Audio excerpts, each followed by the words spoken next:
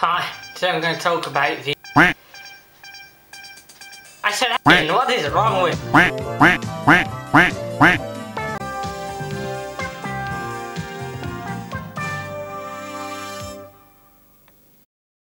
Of course, secure, contain, protect. That is the official motto of the SCP Foundation. And what they uh, do is they uh, have quite a bunch of anomalies in their library.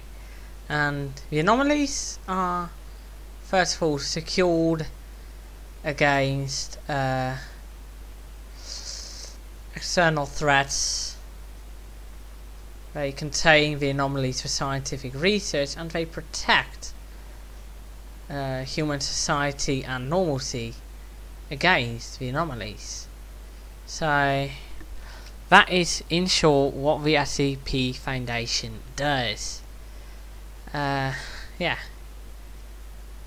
Among in the entire world, of course, the uh, SCP Foundation, as we can see through the secure facilities, they operate all the way from the US in uh, Lorraine, France. They have one, and in uh, let's have a look. Uh, India, uh, Canada, Australia. That is site forty-five. Uh, Germany, Leipzig. That is site fifty-four. And uh, there are so many of the SCP uh, sites, all of which have several anomalies which are classified uh, uh, under a specific object class uh, so that the SCP Foundation knows what they're dealing with. Some of these anomalies are actually pretty easily contained or even helpful, and others are capable, capable of ending the world altogether. So let's start. So there initially there were only three object classes: safe, which are anomalies that are safely contained; Euclid, which requires a bit more resources; and Keter, which used to be the most dangerous. Uh, there are also a lot of esoteric or other classes that weren't that mainstream in the beginning, but three are currently added. Thaumiel, which is an anomaly that the Foundation could use, or sometimes even uses, to contain other SCPs. Apollyon, which could end the world if not contained properly, which takes a lot of effort. And Archon, which could be contained, but are best left uncontained. Yeah, reality, it is difficult to contain, or there are. It is safer to not contain it than to contain it. Uh, yeah.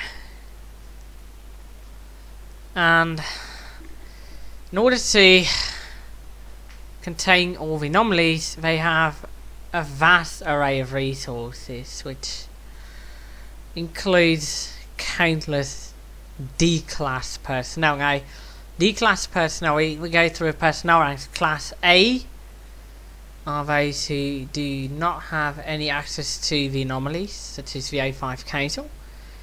Class B has access to a more safer uh, anomalies. Class C, uh, I guess they also they are a little bit more lenient on that one. Class D are the most famous one. They are used to experiment with the more dangerous anomalies to understand them. Typically drawn from people who have no choice but life imprisonment. But Class E is the only thing you can be worse. Those are the people who have already been exposed to an anomaly's adverse effects. Uh, there are several kinds of adverse effects from the anomaly. Some are physically dangerous, some are cognitas, they're dangerous for the uh, for you only if you recognize them. through any of your senses, or info hazards, which are only dangerous if you know about. Them. Sorry about to interrupt right there, because the SCP Foundation thought in our reality is one of the world's largest collaborative fiction projects, and also one of the world's most well-known ones. Uh, what you were looking at was a wiki about all the different anomalies. The SCP Foundation, uh, in our reality at least, started back in 2007 uh, on 4chan and was moved to a wiki in 2009. Or so I remember. These days aren't exactly uh, accurate, but yeah, that is that explained, of course. I'll be talking about all of the SCP objects, including mine, later on. Yes, I am a member of the SCP Foundation. As you see at the top end, there's in a very small print my very own logo and a name. And I'll be talking about mine object later as well. So for now, I'll see you this Wednesday. Bye.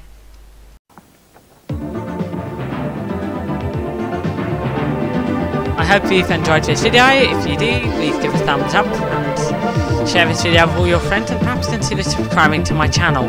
Thank you, and I'll see you next time.